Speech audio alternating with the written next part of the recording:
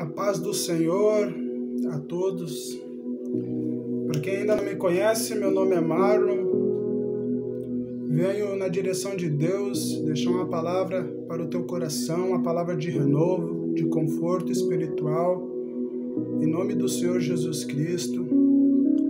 Antes eu queria lembrar vocês, se ainda vocês não são inscritos neste canal, se inscrevam, ative o sino de notificações Assim, todas as mensagens que for publicadas neste canal, vocês receberão em primeiro, em nome de Jesus.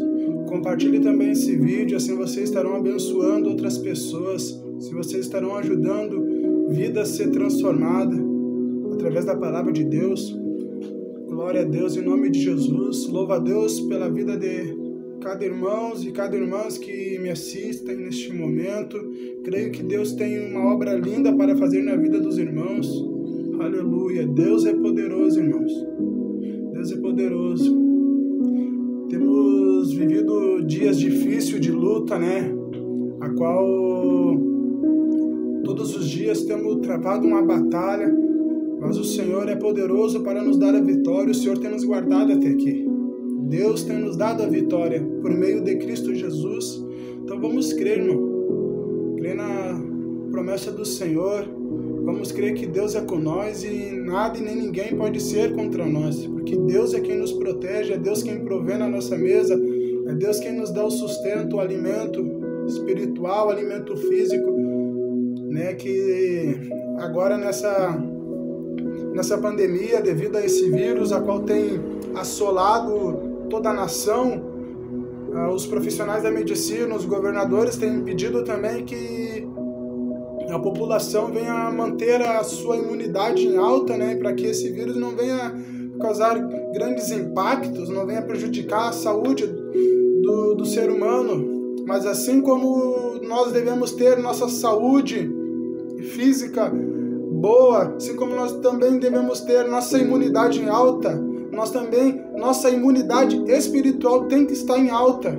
Porque muitos talvez não estejam contaminados por esse vírus, não estejam doentes por esse vírus, mas estão doentes espiritualmente, estão em depressão, em crise, em ansiedade, não está enxergando saída, não está vendo a solução pelo momento e a fase difícil a qual estão passando, mas irmãos, quando a nossa imunidade espiritual está em alta, ou seja, quando a nossa quando a nossa fé está em Cristo, quando os nossos olhos estão no Senhor, quando a nossa esperança está em Deus, irmão. Não há como o inimigo nos derrotar, nos derrotar. Não tem como, irmãos. Não tem como nós ter derrota, porque Deus é quem nos guarda. Ou seja, quando estamos com a imunidade espiritual em alta, o Espírito de Deus ele nos dá vitória, nos dá bênção, o Espírito de Deus nos restaura, o Espírito de Deus nos fortalece, porque Ele é o Senhor. Entende, irmão? Então, assim como devemos ter a nossa imunidade física em alta, também devemos ter a nossa imunidade espiritual em alta, para que doenças espirituais não venham a nos atingir, para que doenças espirituais não atinjam o teu corpo. Amém? Que Deus venha abençoar grandemente a vida de todos os irmãos. E compartilha, irmão, compartilha esse vídeo. Assim você estará abençoando outras pessoas, ajudando que vidas sejam tocadas, transformadas pelo Espírito de Deus através da palavra do Senhor. Vou estar lendo aqui uma palavra breve que se encontra no livro de, de Salmos 62, onde diz a palavra de Deus aqui, ó. Tem um versículo aqui, ó. Somente em Deus encontro paz. É dele que vem minha salvação. Somente Ele é a rocha que me salva, Ele é o meu protetor e eu nunca serei derrotado. Aleluia! Que palavra poderosa é esta, irmãos? Somente em Deus encontramos a nossa paz. Somente em Deus encontramos esconderijo, somente em Deus encontramos a esperança. Somente em Deus, irmãos. É Deus que tem a nossa vitória, o nosso milagre, é o Senhor. Não há um outro que possa te dar o que tu precisa, ou seja, espiritualmente, a paz, Muitas das vezes a gente fisicamente aparenta estar bem, mas espiritualmente não estamos, irmãos. Talvez tu se encontre assim nesse momento, talvez tu, tu fisicamente está uma pessoa alegre, mas dentro do teu coração tu não tem paz, tu não tem alegria, tu já não tem mais vontade e ânimo para viver. Mas estou aqui como boca de Deus para te falar, irmãos, só no Senhor vamos encontrar a paz. Jesus te ama, o sacrifício que Jesus fez na cruz foi para que sobre a tua vida, sobre a tua casa e sobre a tua família gerasse a cura, o milagre, as bênçãos. Amém, irmãos? Vamos crer em Deus, entendeu? Porque essa palavra aqui ela é muito poderosa, porque aqui diz que somente em Deus encontramos a paz. Nós não vamos encontrar a paz em outro lugar, irmãos. Nós não vamos encontrar sossego, eh, talvez conversando com um amigo, com uma amiga, desabafando com outras pessoas. Tudo que precisamos, tudo que necessitamos está no Senhor. Tudo, irmãos, tudo. E aqui diz, né, que esse salmo aqui é poderoso que somente ele é a minha ro é a rocha que me salva. Ele é o meu protetor e eu nunca serei derrotado. Ou seja, Deus é a rocha que nos salva. O Senhor é quem nos guarda, irmãos. Se ainda não não fomos contaminados por esse vírus, ou se muitos foram contaminados, mas permanece de em pé porque o Senhor está te guardando. Talvez tu não tenha visto com os olhos espirituais, mas o Espírito de Deus tem te dado a saúde, tem restaurado teu lar, tua família. E se tu também está contaminado, se tu está num leito de hospital, mas está escutando essa mensagem, o Espírito de Deus está te sustentando. Porque é o Senhor quem nos guarda, Ele é a nossa rocha, Ele é a nossa salvação. E também Salmos, Salmos 91 ali diz, né? E aquele que habita no esconderijo do Altíssimo, a sombra do Onipotente descansará. Ou seja, aquele que habita no esconderijo do Altíssimo, nós devemos habitar, habitar no Senhor, porque o Senhor, irmãos, o Senhor Deus, ele é tão poderoso e o Senhor Deus tem nos trazido até aqui para nos mostrar que nós ainda somos dependentes, que nós ainda somos necessitados da presença do Senhor. O que Deus quer nesta através desse vídeo, através dessa pregação, falar para a tua vida, falar para a minha vida, ei, a paz que tu procura está em Deus. A alegria que tu tanto busca está no Senhor. Talvez não esteja no teu namorado, na tua namorada, nos teus negócios, nos teus projetos, nos teus sonhos. Está em Deus. Tudo que tu precisa, tudo que tu procura, tudo que tu busca está no Senhor. É o Senhor quem tem. Aqui diz, ó, somente em Deus eu encontro paz. É dele que vem a minha salvação. Ou seja, é o Senhor quem tem a salvação para o seu povo. O que é a salvação, irmão?